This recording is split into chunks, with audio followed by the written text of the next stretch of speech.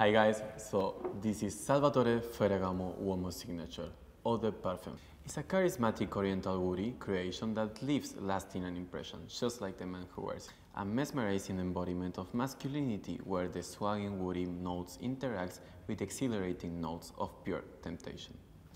A fresh and cool opening, infused with a irreverent sense of charm using unexpected ingredients of pink pepper, Italian mandarin, and grapefruit. The heart of the fragrance is built around iconic and classic ingredients cinnamon, cardamom, and cypress, and the base notes are tonka bean, leather, roasted coffee beans, and patchouli, leaving an indelible mark with enormous long-lasting qualities. This fragrance is ideal for nightwear and compromises the dominant sweet accord.